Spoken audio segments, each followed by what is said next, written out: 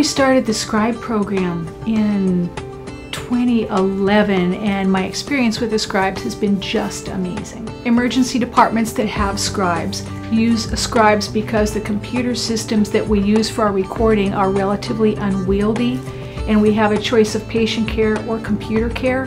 The scribes take the computer care away from us so that we can focus on the patients, which is what we're all here for. Having scribes work with us in the ER makes our job infinitely easier. They keep track of things, they let us know when labs are back, or EKGs, or imaging.